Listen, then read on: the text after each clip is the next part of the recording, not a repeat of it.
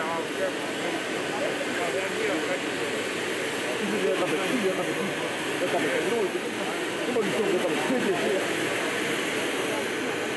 这个看的，我这个看的。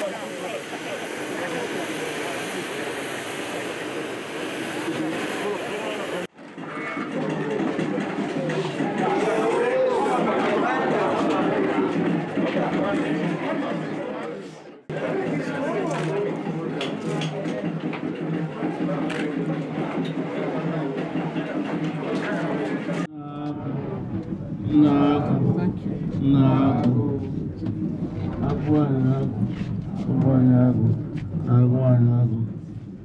you very much. Coupled with the fact that you are very good.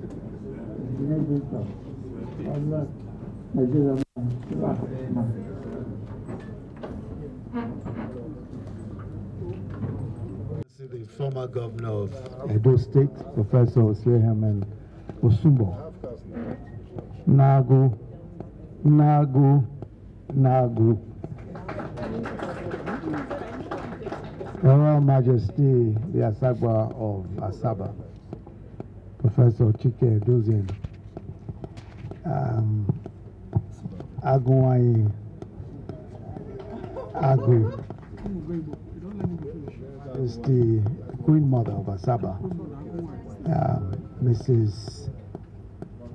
Edozian, Mrs. Um, Edo.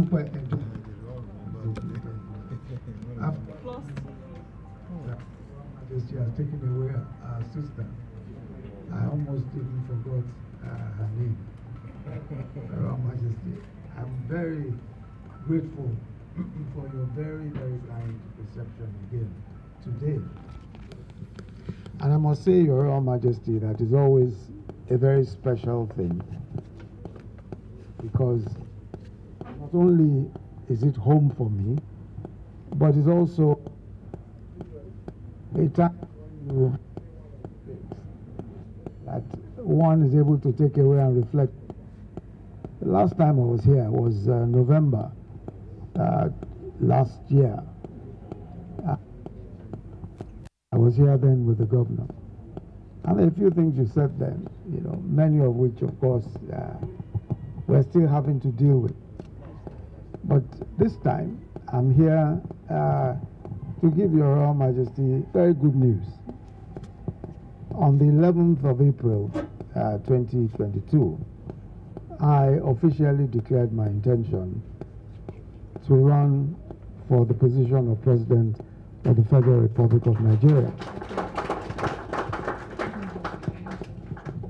Your Majesty uh, knows that um, I would not have taken the decision lightly. It's one that one has taken with all sense of responsibility. After serving for seven years and a few months as Vice President,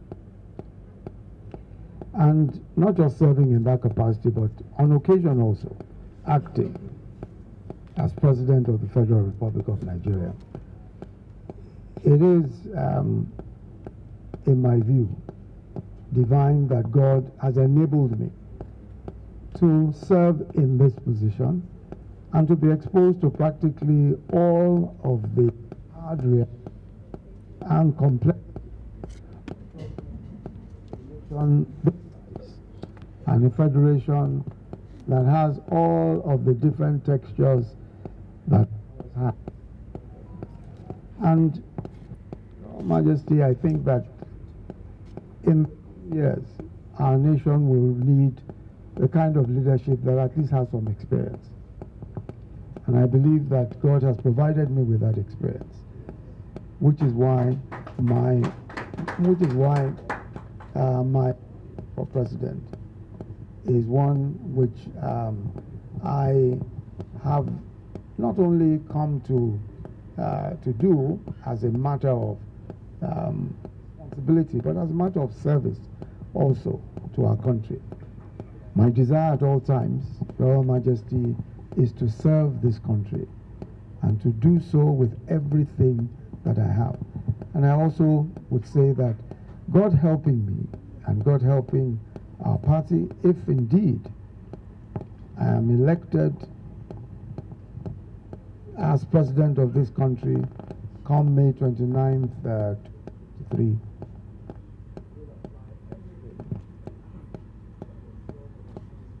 pride of place that has become his manifest destiny. It is my great uh, pleasure, of course, Your Majesty, not just to inform you, but also to seek your blessings and your prayers. Thank you very much, sir. Now, what do we do? The evidence for that poor economy that at the time of independence, one naira was two dollars. Today, one dollar is 500 naira. Country cannot the devaluation of 1,000 times. Something drastic must be done. Soludo was governor of Central Bank. The major comment I hear is that Soludo is not a banker. So it seems that the main function of uh, the CBN is banking. If that is so, then the government must establish a high-powered body to look into economy. Because we need to reverse what has been happening. A 1,000 times devaluation in our money cannot be. Nation building. The top revise of the constitution and other measures. But we forget that these European countries today,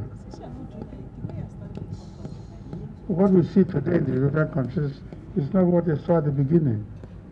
What years ago, anybody who has read any history will know the fighting, the quarreling, the killings that created the countries of today. We're only beginning. I think like you Europeans did a thousand years ago. And so, if we are going to create a nation out of 250 ethnic groups, because what I see, we can't just do it sitting down. We must have strategies to create such 250 ethnic groups to become one nation. Because we just can't sit down as amateurs dealing with it. We need information, we need instruction. So, Mr. Vice President, I know your antecedents, and I would have expected that by now that we're talking in Nigeria that we have a national institute so that they can do the research and produce information.